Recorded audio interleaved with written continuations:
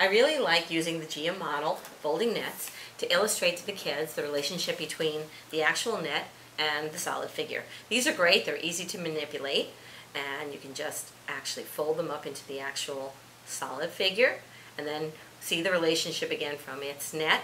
I like the nets because it's easy to count the faces. The kids can actually see them and manipulate them. You can show them where the edges are formed. You can count vertices as well. The kit comes with some dry erase activity cards, which are really great. You actually just put them down. The um, students then put the, the net right there. They can physically manipulate it, count, and fill out the dry erase board.